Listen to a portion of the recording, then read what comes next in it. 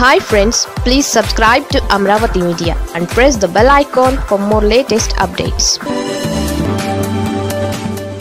Balineni వైసీపీని వీడడం వెనుక షాకింగ్ రీజన్ బాలినేని శ్రీనివాసరెడ్డి వైసీపీని ఎందుకు వీడినట్టు? తనకు గుర్తింపు లేదనా? లేకుంటే పార్టీలో తన ప్రత్యర్థులకు ప్రాధాన్యం ఇస్తున్నారనా? అసలు కారణమేంటి? జగన్తో బంధం తెచ్చుకోవడానికి ఎందుకు డిసైడ్ అయ్యారు? ఏపీ పొలిటికల్ సర్కిల్లో ఇదే ఆసక్తికర చర్చ. జగన్ పిలిస్తే కాంగ్రెస్ నుంచి వచ్చేశారు. ఉప ఎన్నికలలో పోటీ చేసి గెలిచారు. పార్టీ ఆవిర్భావం నుంచి తన వెంట అడుగులు వేయడంతో జగన్ కూడా అత్యంత ప్రాధాన్యం ఇచ్చారు. వైసీపీ అధికారంలోకి వచ్చిన తరువాత కేబినెట్లో చోటిచ్చారు. కీలకమైన విద్యుత్ శాఖను కట్టబెట్టారు. విస్తరణలో పదవిని తొలగించారు. అది మొదలు బాలినేని నిత్య అసంతృప్తివాదిగా మారిపోయారు. కేవలం ప్రకాశం జిల్లాలో తన మాట చెల్లుబాటు కోసమే ఆయన వైసీపీకి గుడ్ బై చెప్పినట్లు ప్రచారం జరుగుతోంది. అయితే వైసీపీతో పాటు అనుకూల మీడియాలో వేరే చర్చ నడుస్తోంది. ఆర్థిక వ్యవహారాలతోనే బాలినేని వైసీపీకి గుడ్ బై చెప్పినట్లు తెలుస్తోంది. జగన్ సర్కార్లో బాలినేని విద్యుత్ శాఖను నిర్వర్తించారు. అప్పట్లో దూకుడుగా ఉండేవారు. ఏకంగా చార్టర్డ్ ఫ్లైట్లో ప్రయాణించేవారు. విదేశాలకు ప్రత్యేక విమానంలో వెళ్ళేవారు. అయితే ఇది మింగుడు పడని జగన్ మంత్రి పదవి నుంచి బాలినేనిని తప్పించారని టాక్ నడిచింది.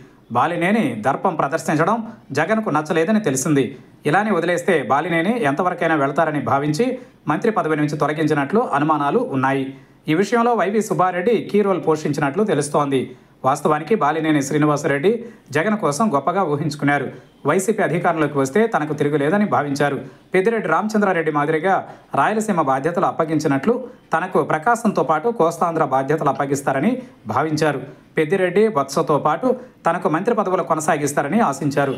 కానీ ఆ రెండు జరగలేదు. పెద్దిరెడ్డి బొత్సతో పాటు తనకు మంత్రి పదవులు కొనసాగిస్తారని ఆశించారు. పుండు మీద కారం పోసినట్టు ప్రకాశం జిల్లాకు చెందిన మరో మంత్రి ఆదిమూలం సురేష్ను కొనసాగించి తనను తప్పించడం బాలినేనికి బాధ కలిగించింది. అయితే బాలినేని అసంతృప్తికి మరో కారణం ఉన్నట్లు తెలుస్తోంది. అదే ప్రధాన కారణమని వైసీపీ వర్గాలలో ప్రచారం సాగుతోంది. విద్యుత్ శాఖ మంత్రిగా బాలినేని ఉన్నప్పుడు ఒక కంపెనీ నుంచి కొంత సొమ్ము వచ్చేలా ఒప్పందం కుదిరినట్లు తెలుస్తోంది. అయితే ఒప్పందం ప్రకారం మొత్తం డబ్బు ఇవ్వకపోవడం కొంత పెండింగ్లో ఉండడం తనకి ఇవ్వాల్సిన సొమ్ము కోసం బాలినేని అడుగుతుండడంతో రచ్చ నడిచినట్లు సమాచారం. చివరికి ప్రభుత్వం పడిపోవడంతో బాలినేని ఆ సొమ్ము ఇప్పించాలని జగన్పై ఒత్తిడి తెస్తున్నట్లు పార్టీ వర్గాలు చెబుతున్నాయి. ప్రభుత్వం మారడంతో జగన్ చేతులెత్తేశారు.